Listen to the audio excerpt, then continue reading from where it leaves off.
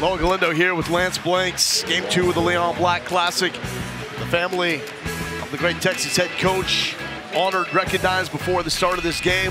Texas and UT Rio Grande Valley and early on, Marcus Carr made a statement out of the gates. Yes, he did. And Jason Black, son of Leon Black, had to like that nice kiss off the glass. Carr was driving everything in terms of the pace, the play, and the shots early for Texas, and his teammates were finding him one of the best grooves I've seen him in.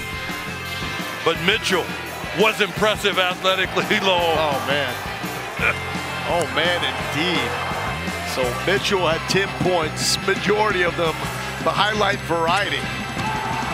So much upside, Lance. Yes, he does. And there he had the catch and then the dunk and then even helped teammates up pretty impressive, impressive, giving a taste of how good he's going to be once conference How about this, starts. though? The perfect six man, Serge Sir'Jabari Rice, off the bench with 19 points, his most since joining Texas. Well, they spread the wealth like you spread rice at a wedding. I mean, his shot fake ability is like none other. Larry Hughes-esque. There it is, another one. Guys were popping around like gumballs. Gave him a little space, and guess what? I'm going to get the shooter's bounce.